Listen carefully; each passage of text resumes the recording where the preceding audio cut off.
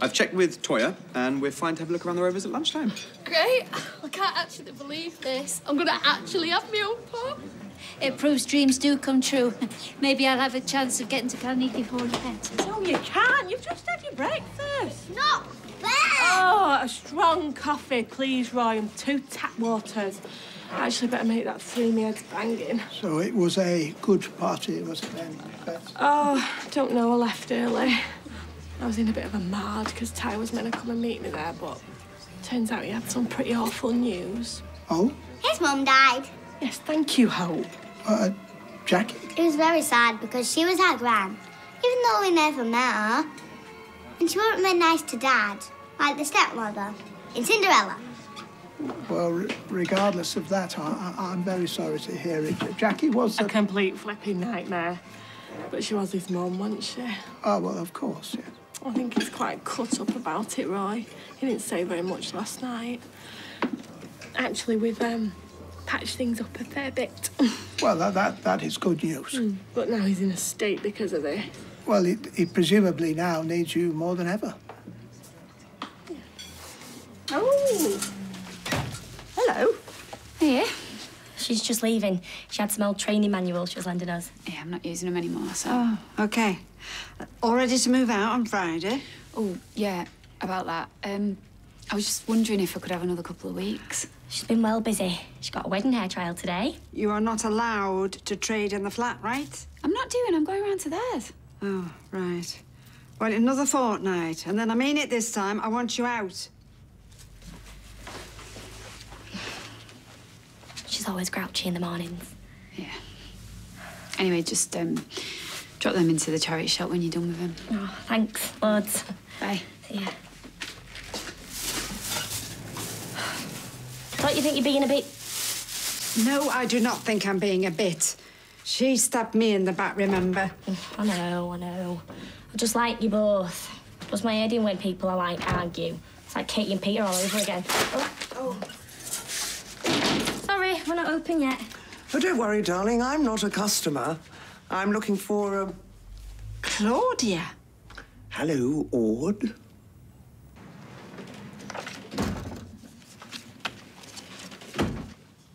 Oh, sorry about all this. My mum's mate Pauline's been left to out funeral arrangements. She's stressing out. Wants to know if I've got any old photos of her. That's okay. How are you feeling? Fine. Because it'd be all right if you weren't, you know. She was your mum. Barely. You know what I mean. You know what they said? That she was ill for a year. She knew she was going to die like six months ago. I mean, if she couldn't even be bothered to pick up the phone and call me, then Yeah, but people do funny things when they're ill, don't they? She might have thought she was protecting you. protecting me. Does that sound like my mum? Maybe she changed. After 60 odd years of being horrible. You know what? I'm just going to tell her that I haven't got any. Yeah. She didn't give a stuff about me, did she, while she was alive? Not for one second, so why should I give a stuff about her?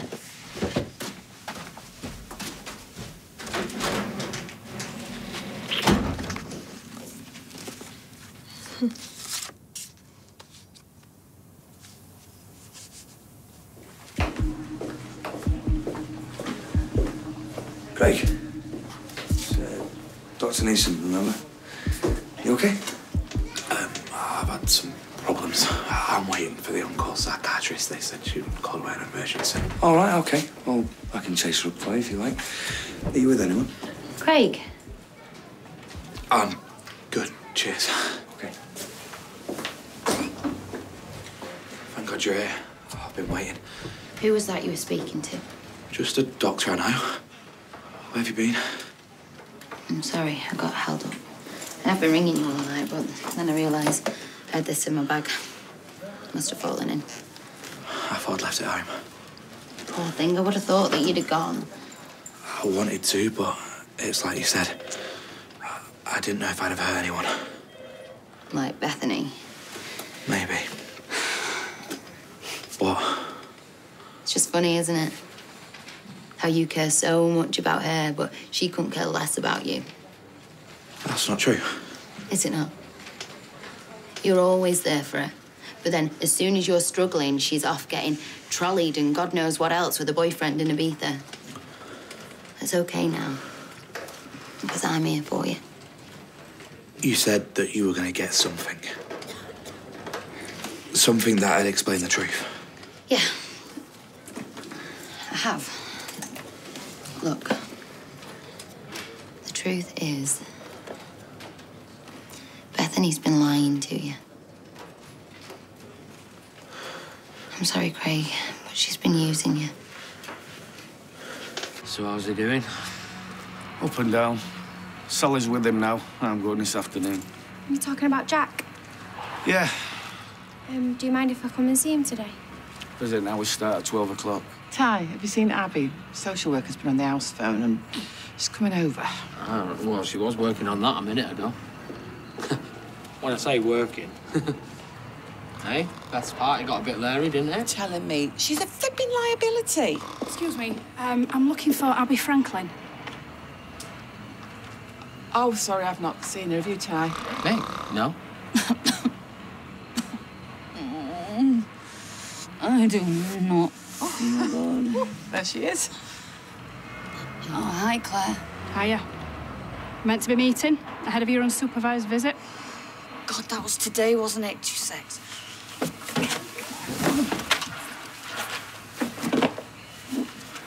Did you sleep in there last night? No, no, I've been home. I, I just thought I'd have a rest. I was mortal last night. On booze, not drugs, just lots of booze. Not that that's anything to be proud of. No. Oh, no. Can I have 20 minutes, Ty? Go on. Sure you two are going to be okay coping without me? Oh, yeah. Wait tomorrow off to try and find this flat in Liverpool. Tomorrow? Yeah, if that's okay. Yeah, yeah, it's fine. What, so you've not found anywhere yet? Nothing that doesn't cost a fortune, no. You sure about tomorrow? Honestly, it's no problem. You just concentrate on little Jack. Cheers, mate. I'm sorry that I had to be the one to tell you this. I just think that Bethany saw what a top bloke you were and she took advantage. What do you mean? I mean that you were so brilliant when she was going through that stuff with those guys and she knew how loyal you were and that you would do anything to help her. Which you would, wouldn't you? You said that you would. You said that you'd keep all of her secrets and that you'd lie for her, wouldn't you? Yeah, I, I, I guess. I bet you'd even lie under oath and support anything that she said, wouldn't you? What? No. I'm not saying that I blame you. I understand you're a lovely, lovely bloke. I just don't trust her. Look, Bethany, she's not a liar, okay? Are you sure about that? Are you sure that everything that she said is true?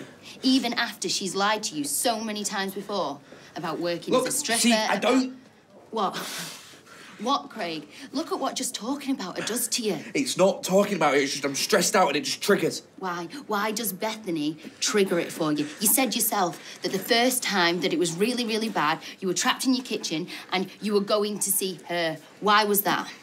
I don't know. Is it because it got too much for you? The guilt of knowing that she was lying about it all? What? Look, I'm not saying that Nathan wasn't a nasty piece of work, but the other guys, the parties, being passed around, that was all in her head. She read somewhere that stuff like that happens in the papers, and so she made it up because she was ashamed that she'd cheated on Nathan. That was it, wasn't it? Look, why are you and trying then to- you lied to protect her, didn't you?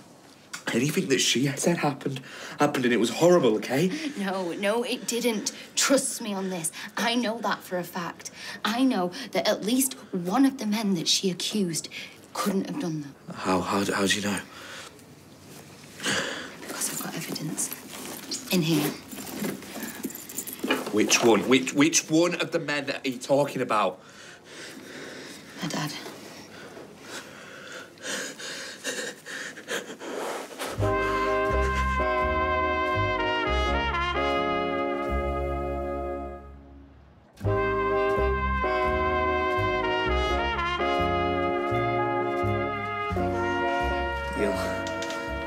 Neil is your dad.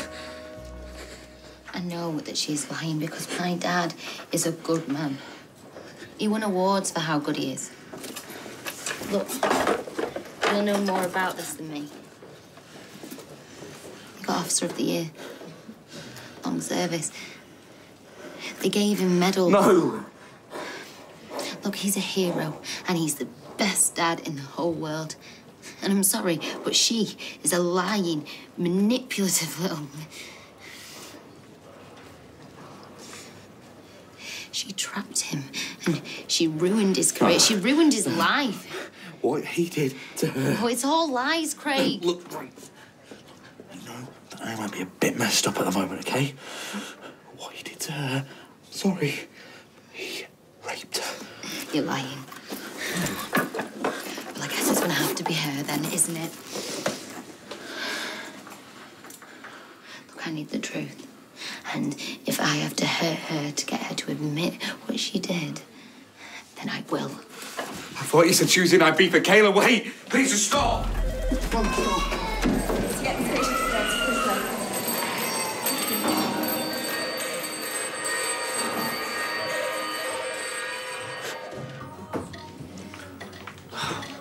Oh, I just love this old place. Never changes. Sort of comforting. Yeah. I hear Lewis came back. Ah, yeah, afraid so. Well, what happened?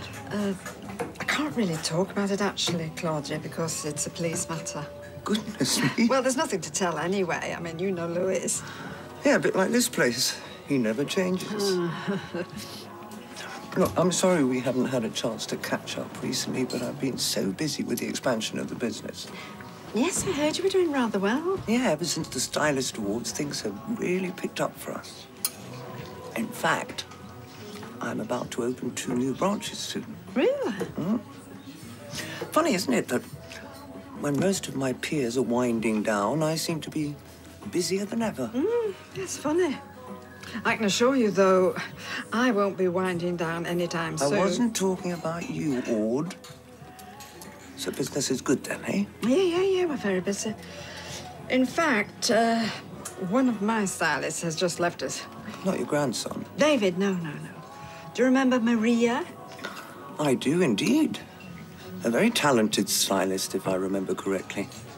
So she's gone on to bigger and better things, has she? Mm. Yeah, something like that. Anyway, look, I have got so many Oh, no, appointments. no, I'll do this. No, I insist it's my treat. I insist. As I said, I'm doing well. Yes, and I said so was I. So come on. It's my local, so I'll pay. Okay. Thank you. Don't mention it.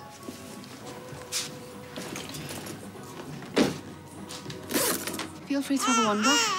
Oh, what's up with you, little lady? Do you want to help Auntie Toyah make a cup of tea? Yeah, Do you?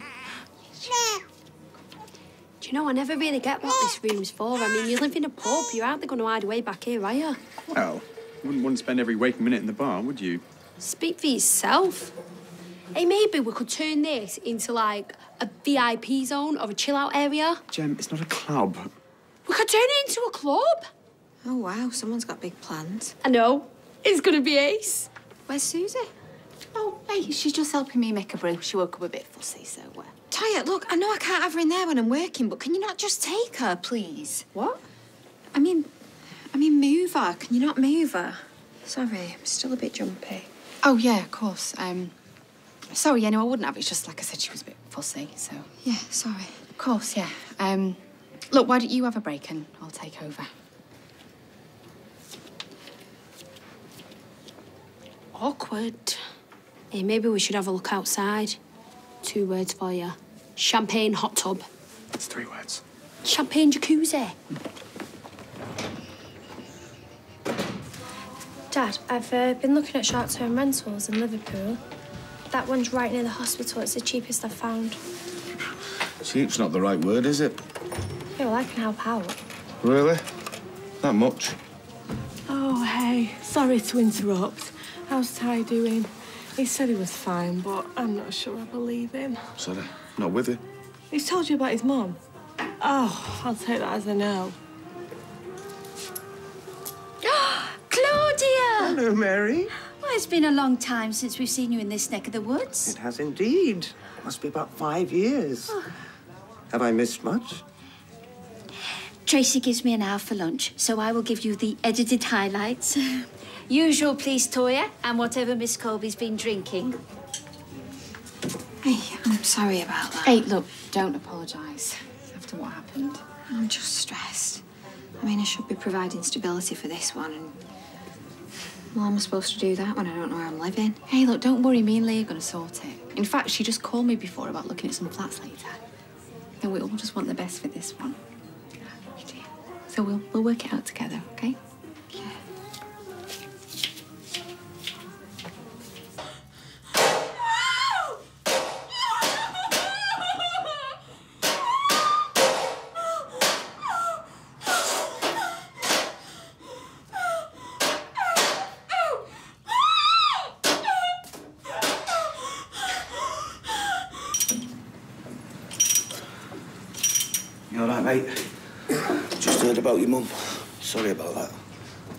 Say something? Well, it's fine. Never really saw her as a mum anyway. No, but you still got to go to the funeral. No, I'm telling you, Ty, you've got to go. Look, I can spare you for the day. Well, you've got to be there for Jack. Yeah, well, I can get someone else in to help Abi. Listen, mate, I'm not messing about. You're going. Oh, you all right, mate? Do you feel as bad as I do? I would have thought so. Oh, I tell you what, I am still hanging. I've had to send Mary on a long lunch break just to stop her talking at me. Was at the shop? Well, I shut it. Hey, how about we go to the Rovers and sink some Bloody Marys? That'll sort us right out. Mm, I can't. I'm lunching for another hour. No, you'll be all right. I mean, it's only No, I Kevin. mean, I sure you can't, can. Really, I've got work to do. Oh, don't tell me you're one of those people that's only fun when they've had a drink. Yeah, that's right. You should see me when I'm on smack. I'm a right. Do you know what? Forget it. Sorry I asked. David has definitely ordered a deluxe hot chocolate in the past, but who its intended recipient is, I've no idea. Right. Oh, Maria, thank God. Just when I got my head round coffee, she goes and orders a flipping hot chocolate. Does Audrey hold the cream and marshmallows, or does she go full deluxe? Oh, no, always cream and marshmallows. You know what Audrey's like? She's got the taste buds of a six-year-old. You're an actual lifesaver, literally. Uh, figuratively. No, literally. No, figuratively. She is not actually saving your life by getting Audrey the correct hot chocolate. You are being hyperbolic, figurative for comic effect. Yeah, but if I had... Yeah. Seriously, don't bother. You're not going to win. Right. How did the wedding trial go? Oh, it didn't. So there were four of them in total, right? Three bridesmaids. Only there weren't bridesmaids or a bride. They all just wanted cheap hairdos for the night out. They never. Yep, and I didn't find out till near the end. Had to threaten them all with big scissors to get paid anything. Flipping heck. And even then, I've earned less than I've paid out in childcare. Why don't you come back to the salon? You do know that Audrey's practically forcing me and Liam out of our home. I think she's just hurt. Yeah, well, aren't we all? She misses you.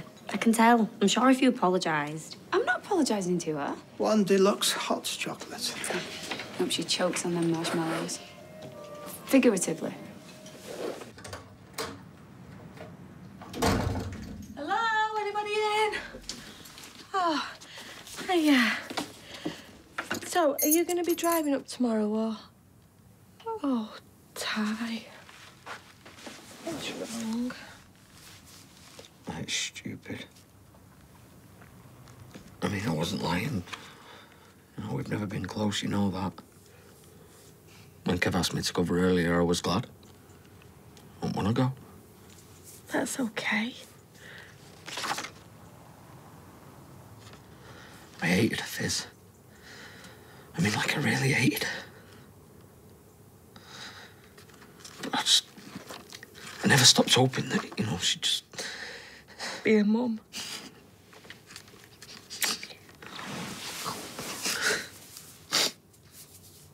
Not sure what's going on, but he's just over there. Okay, I'll sort it.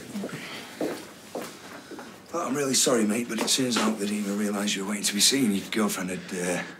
Hey, Ray, it's okay. It's okay.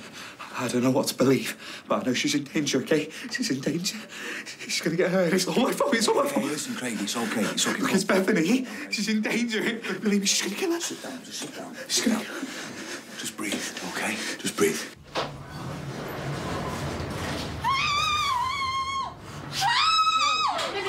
Don't scream. Just don't scream, okay?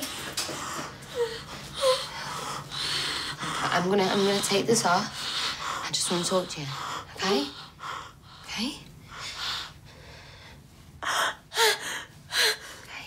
Okay? Okay? I'm sorry that I've had to do this. You don't. I just need you to tell the truth. Just about my dad, none of the others. I just need you to admit that you lied about him. It wasn't a lie. No. He did it with all of the others. No, you were still lying! I need you to tell me the truth. I am telling the truth. Look. I don't want to hurt you, but I will if that's what it takes. You have to tell me the truth. Coronation Street continues in half an hour.